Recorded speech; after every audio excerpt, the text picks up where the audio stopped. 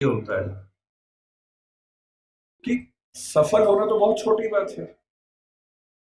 Doctor Ambedkar हमारी संविधान सभा के वो मेंबर थे जो सबसे ज़्यादा पढ़े लिखे थे।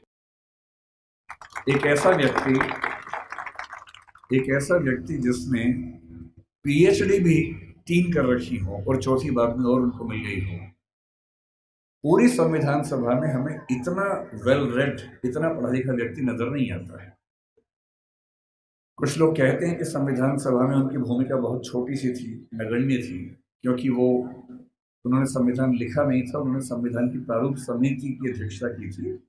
ये बात ठीक है कि वो प्रारूप समिति के अध्यक्ष थे।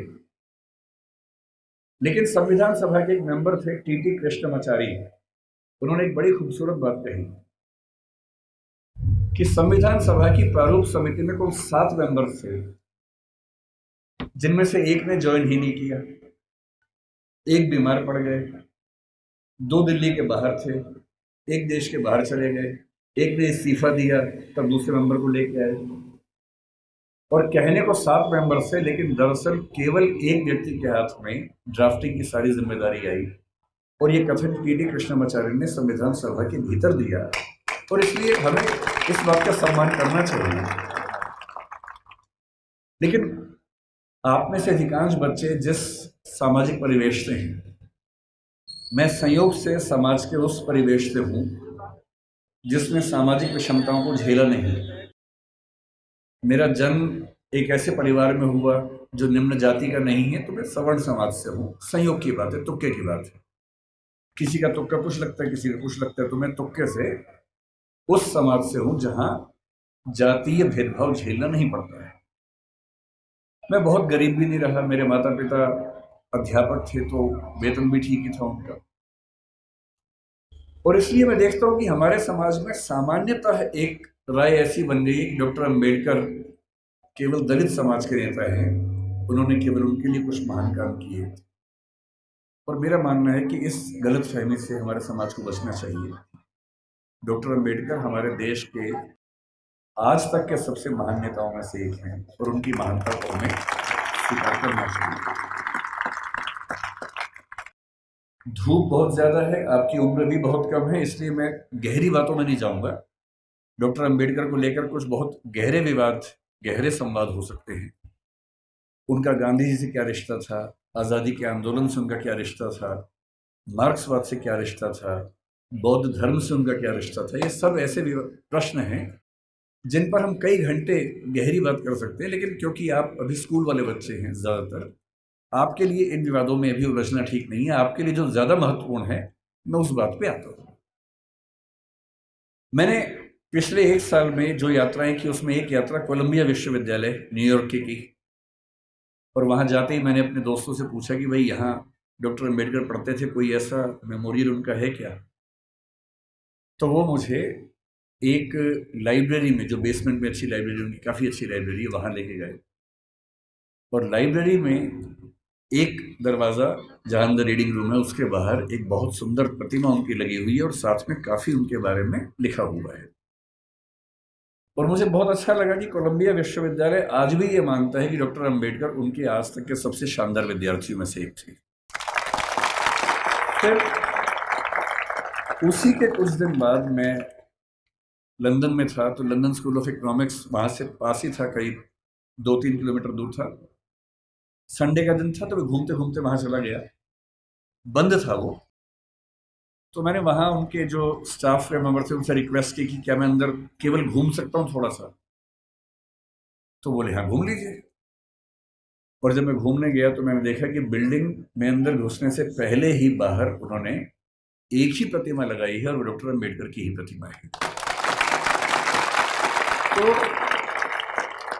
मुझे ऐसा लगता है कि जिस जिस भारतीय सपूत की ख्याति दुनिया में इतनी ज़्यादा है, अमेरिका में, लंदन में, जहाँ वो पढ़े, वहाँ के इंस्टीट्यूशन से मानते हैं कि हमारे महानतम विद्यार्थियों में से एक वो थे। तो ऐसा क्यों है कि हमारे समाज में उनको लेकर ऐसी गलत फहमियाँ बहुत ज़्यादा है? आज मुझे बुलाया गया है ये कह के कि बच्चों को प्रेरणा देनी है, पर दरअसल मेरे लिए तो खुद ये प्रेरणा का समय है कि मैं एक ऐसी जगह हूँ जहाँ डॉक्टर साहब पैदा हुए, उनकी मृत्यु हुई। मैं बहुत संक्षेप में आपको ये बताना चाह रहा हूँ, क्योंकि आप में से बहुत सारे बच्चे जिस समाज में पैदा हुए होंगे, आपकी परिस्थितियाँ कुछ कुछ वैसी होंगी, जैसे अंबेडकर जी की थी। हालाँकि वैसी नहीं होंगी और क्यों नहीं होंगी, क्योंकि अंबेडकर जी हो गए आपसे पहले, इसलिए आपकी स्थितियाँ वैसी नहीं अगर अगर वो ना होते तो स्थितियाँ वैसी होती। तो मैं आपको थोड़ा सा बताना चाह रहा हूँ कि आप किस भारत की ऐतिहासिक सामाजिक परंपरा में स्थित हैं और आपकी ज़िम्मेदारी क्या बनती है? मैं ये भी समझाना चाह रहा हूँ कि जो जो सदस्य आप में से या समाज के जो सुनेंगे इस वक्तव्य को, जो समाज के उस तबके से नहीं भी हैं, जो समाज के संपन्न वर्ग से हैं, उनको भी समझने की ज़रूरत है, जो हम थोड़ा सा समझेंगे, क्या है वो? हमें किसी व्यक्ति की महानता समझने के लिए पहले ये देखना चाहिए कि उसकी प्रेरणा बिंदु क्या थी। आपको मैं प्रेरित करूँ? इससे बेहतर है कि मैं आपको वही बताऊँ डॉक्टर अंबेडकर के बारे में जिससे मुझे प्रेरणा मिलती है। शायद आपको भी किसी से प्रेरणा मिल जाए और मैं ये स्पष्ट कर दूँ, मैं किसी विचारधारा, किसी मान्यता, किसी वाद का अंध समर्थक नहीं हूँ। मैं ना गांधीवादी हूँ, ना मार्क्सवादी हूँ, ना अम्बेडकरवादी हूँ। मैं सभी महान व्यक्तियों को पढ़ता हूँ, डूब के पढ़ता हूँ।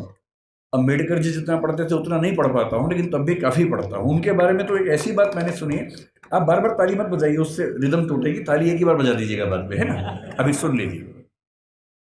मैं कल जब इंदौर आ रहा था, फ़्लाइट में था तो मैंने कुछ वीडियोस डाउनलोड किए हुए थे अंबेडकर जी के बारे में। ये सोच के कुछ नया पढ़ने को मिले, कुछ नया सुनने को मिले तो मुझे भी तो प्रेरणा मिले। तो एक ज़िक्र मैंने सुना। आप लोग धूप से परेशान तो नहीं हो रहे ज़्यादा? वैसे भी धूप मेरी तरफ़ ज़्यादा है, आपकी तरफ़ तो कम है तो है ना? तो अगर मैं बोल सकता हूँ तो आप सुन भी सकते हैं, ऐसा क्या है? और आप बैठे हैं, मैं खड़ा हूँ तो आपको तो ज़्यादा। तो मैंने कल एक बड़ा अच्छा ज़िक्र सुना। वो ज़िक्र एक विदेशी लेखक जिन्होंने किताब लिखी, इनसाइड एशिया, ये उन्नीस मतलब अंबेडकर के समकालीन लेखक थे, जिनका नाम था जॉन गुंटर, बड़े प्रसिद्ध लेखक थे। उन्होंने लिखा कि मैं 1938 में एक बार डॉक्टर अंबेडकर के घर गया। और मैं दंग रह गया, उनकी लाइब्रेरी में किताबें गिनने लगा। तो उसके बाद पता लगा कि उनके पास उस समय आठ हज़ार किताबें थी। ताली नहीं बजानी है? नहीं सुनना है, केवल सुनना है। आठ हज़ार किताबें थी। और जिस दिन डॉक्टर अंबेडकर की उन्नीस सौ छप्पन में 6 दिसंबर को मृत्यु हुई, मैं जिस चीज़ से सबसे ज़्यादा उनका प्रशंसक हूँ उस दिन उनके पास पैंतीस हज़ार किताबें थी। मैंने अरस्तु के बारे में सुना है, जो ग्रीक फिलोसफी का सबसे महान चिंतक या सबसे महान चिंतकों में से एक हुआ। उसने अपने जीवन में तीन हज़ार पुस्तकें लिखी। हालाँकि वो अधिकांश पुस्तकें बहुत छोटी हैं। दो पृष्ठ, चार पृष्ठ, पाँच पृष्ठ की हैं। मैं दंग रह जाता हूँ। मेरे पास डॉक्टर अंबेडकर का पूरा साहित्य है। वो 21 किताबों में आता है। और जब मैं उसको उठा के पाँच सात दिन पहले जब पता लगा यहाँ आना है तो मुझे लगा मैं एक बार रेफरेंस के तौर पर फिर से देख लूँ। इतना मोटा बंडल है उन किताबों का, जो डॉक्टर अंबेडकर ने केवल अपने पैंसठ साल के जीवन में लिखी है। उनको समय कम मिला। ये ईश्वर, या नियति की क्रूरता है कि उनको समय कम मिला, अगर उनको दस पंद्रह साल और मिल जाते तो निस्संदेह हमारा देश जैसा है, उससे बहुत बेहतर होता। लेकिन नियति का मामला है। मैं देखता हूँ कि हमारे समाज में बहुत लोग उनका विरोध करते हैं। उनको लगता है कि दलितों का नेता है, ये हिंदू धर्म के बहुत खिलाफ था, ये बहुत नाराज़ रहता था। लेकिन उन्होंने उन परिस्थितियों को, उस बैकग्राउंड को देखा नहीं, जो आज मैं आपसे डिस्कस करूँगा। आपने सुना होगा ज़रूर, नहीं सुना तो आप सुन लीजिए। और फिर तुलना कीजिए कि आज आप जहाँ हैं, क्यों वहाँ हैं? अगर अंबेडकर साहब ना होते या ज्योतिबा फुले ना होते, उसके 500 साल पहले कबीरदास ना होते, उसके 2000 साल पहले बुद्ध ना होते तो दरअसल हम वहाँ नहीं होते जहाँ जब बैठे क्या उन्होंने क्या झेला अंबेडकर जी ने? क्योंकि आप बच्चे हैं, इसलिए मैं वही सी चीज़ें बताऊँगा जो आपको थोड़ा सुन के समझ में आएँगी और प्रेरणा मिलेगी आपको। जब वो छह साल के हुए यहीं पैदा हुए। यही उनका घर है, मुझे बताया गया, इसी घर में उनका जन्म हुआ। आप लोग कितने सौभाग्यशाली है कि आप यहाँ आते हैं। मैं तो पहली बार जीवन में आया हूँ। कुछ दिन पहले इंदौर पहली बार मैं आया था, एक साल पहले। मुझे ये नहीं पता था कि इतना पास में वो जगह है, वरना मैं उसी दिन आता। तो मुझे बड़ा आश्चर्य हुआ कि मैं इंदौर तक आया भी और मुझे पता नहीं चला। तो जब वो पैदा हुए इसी जगह, क्योंकि उनका सौभाग्य था कि वो एक सूबेदार के बेटे थे। इसी सेना में काम करने वाले। मुझे आज पता लगा कि एम एच ओ डब्ल्यू क्यों कहते हैं? मिलिट्री हेडक्वार्टर्स ऑफ़ वार उसका नाम था। मैं परेशान था कि महू की spelling M A H U क्यों नहीं है? एम एच ओ डब्ल्यू क्यों है? तो आज पता लगा नहीं, वो एक एक्रोनिम है, उसकी फुल फॉर्म एक है। वो जिस समाज में थे, उस समाज के बच्चे स्कूल में नहीं पढ़ते थे। उनको पढ़ने की अनुमति नहीं थी। पर क्योंकि वो सूबेदार के बेटे थे। और सूबेदार एक कमीशन पद होता है सेना में, बड़ा पद होता है तो इतना हो गया कि उनको स्कूल जाने का मौका मिल गया। पर उनकी माँ को आदरणीय भीमाबाई जी को अच्छे से पता था कि जब बच्चा स्कूल जाएगा तो इसके साथ बहुत बुरा बर्ताव होगा। जिसको आपकी भाषा में बुलिंग कहते हैं, आजकल के बच्चों की भाषा में बुलिंग कहते हैं, उसका खतरा था और माताओं को, पिताओं को बहुत चिंता होती है कि हमारे बच्चे के साथ स्कूल में ज्यादती ना हो, बदतमीजी ना हो। कल को आप भी पेरेंट्स बनेंगे, आप भी इस दर्द से गुजरेंगे। ऐसे कई बच्चे होते हैं, कोई फिजिकली उतना ठीक नहीं है, कोई मेंटली उतना ठीक नहीं है, जब वो स्कूल जाते हैं बच्चे, एक तो पहले वो पीड़ित है, उसके बाद स्कूल के बाकी बच्चे उनका मज़ाक बनाते हैं, चढ़ाते हैं। पेरेंट्स को इतना दर्द होता है इस बात से, लेकिन क्या करें? तो उनकी माता जी ने भीमाबाई जी ने कहा कि देख बेटा, स्कूल जा रहा है। पहले ही समझा रही हूँ, बहुत बुरे अनुभव होंगे। लड़ना मत, झगड़ना मत, विद्रोह करके छोड़ मत देना। क्योंकि पढ़ाई करोगे, वो अकेला रास्ता है कि कुछ बड़ा कर पाओगे जीवन में, वरना कोई दूसरा रास्ता नहीं है। इस बात को उस छोटे से बच्चे ने मन में बिठा लिया। वो स्कूल गया उस स्कूल में पहली बार कोई ऐसा बच्चा आया था जो समाज के अछूत कहे जाने वाले समुदाय का हिस्सा था। जो बाकी बच्चे थे, बुरे नहीं थे, पर वो भी अपने अपने घर से सीख रहे थे, अपने समाज से सीख रहे थे। उनको ये पता था कि ऐसे बच्चों के साथ नहीं बैठना है, दूर रहना है। तो व्यवस्था हुई कि वो स्कूल में क्लास के सबसे अंत में, जहाँ सारे बच्चों के जूते चप्पल रखे हैं, उसके पड़ोस में एक दरी छोटी सी बिठा बिछा के बैठेंगे और दरी भी खुद लेके आएँगे ताकि स्कूल में कोई और व्यक्ति अपवित्र ना हो। अब सोच के देखिए इमेजिन कीजिए उस बच्चे की हालत कि एक बच्चा है, अपने घर से दरी लेके आता है, क्लास के अंत में जहाँ जूते चप्पल रखे उसके पास में बिछाता है, बैठता है, बाद में लेके जाता है। उसके साथ कोई खाना भी नहीं खाता है।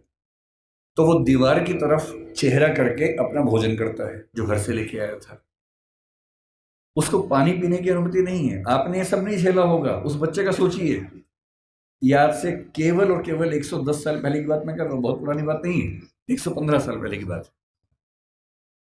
उस बच्चे को पानी पीना है और स्कूल में पानी की एक ही व्यवस्था है कि जो पानी का नल है या घड़ा है, उसे वो नहीं छू सकता। तो एक चपरासी है जो उसको दूर से पानी देगा तो वो पिएगा। वो घड़ा नहीं छू सकता है। और ये बात कोई और नहीं कहा है डॉक्टर अंबेडकर ने खुद अपनी आत्मकथा लिखी है। वो उस समय छप नहीं पाई थी, छपी उन्नीस के आसपास है। अंग्रेज़ी में उस आत्मकथा के कुल छह अध्याय हैं। उसका नाम है वेटिंग फॉर ए वीज़ा ये उन्हीं की पुस्तक है। उसमें केवल छह अध्याय हैं, जिनमें से चार अध्यायों में उन्होंने अपने अनुभव बताए हैं और दो में बाकियों के अनुभव बताए हैं। और जो पहला अनुभव है, वो यही अनुभव है। और वो साफ़ लिखते हैं कि अगर किस दिन बच्चों, अभी मैं जानता हूँ आप बहुत बेचैन हो गए शरारत करने का मन भी होगा, लेकिन जिनकी बात चल रही है ना, उनके सम्मान में थोड़ा शांत रहें और सुने, है ना? समझें उस बात चंचलता इस उम्र में होती है, लेकिन थोड़ा सुन लीजिए, क्या हो गया? फ़ायदा हो जाएगा। कुछ नया सीखोगे, है ना? आपकी उम्र से बहुत पहले अंबेडकर जी बहुत सीरियस हो गए थे, इसलिए वो अंबेडकर जी हैं। तो अब तो सीरियस हो ही जाना चाहिए। और जिस व्यक्ति की बात चल रही है, उसका कितना एहसान है हम पे, आपके समाज में विशेष रूप से, ये भी समझना चाहिए। जिस दिन चपरासी नहीं आएगा, उस दिन पानी नहीं पी सकते हैं। उन्होंने एक वाक्य लिखा अपनी आत्मकथा में नो पियन नो वाटर उस समय ऐसी बोतलें नहीं होती थी जो भी आपको बढ़ रही थी, जिन बोतलों के लिए आप हाहाकार मचा रहे थे। उस जमाने में नहीं होती थी। उस जमाने में पियर नहीं आता था तो पानी नहीं मिलता था। उनके नंबर बहुत अच्छा है क्लास में। व्यवस्था थी कि जिसके नंबर जितने अच्छे होंगे, वो उतना आगे बैठेगा, पर उनको ये ऑप्शन नहीं था कि वो आगे बैठ सके। उन्हें पीछे ही बैठना था। ये सब झेलते झेलते वो पढ़े।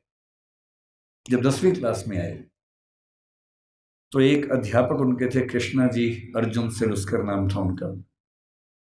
उन्होंने उस बच्चे को, भीमराव को एक छोटी सी पुस्तक भेंट की जो बुद्ध की जीवनी थी और कहा कि इसको पढ़ो। अंबेडकर कहते हैं कि उस पुस्तक को और मैं अपने अध्यापक केलुस्कर जी को ज़िंदगी भर नहीं भूल पाया। वही केलुस्कर जी बाद में उनको बड़ौदा के महाराज सियाजी राव गायकवाड़ से मिलवाने ले गए, वजीफा दिलवाया।